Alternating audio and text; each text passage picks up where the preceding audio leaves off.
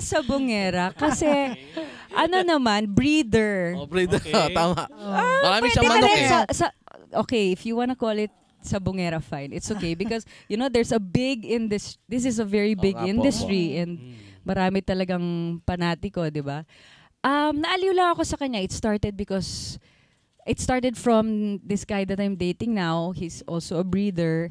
And then yun, na, na naging ano ko, kumbaga, na, mas lalong naengganyo. Now So- I'm breeding my own chickens. Yung iba hindi ko matandaan kung ano mga klase but all I know is, okay ma'am, Ma- ito ang Ano yan? Lahat ba mga sab pangsabong? Yeah, mostly, Ah, mostly. I see. But we just breed it.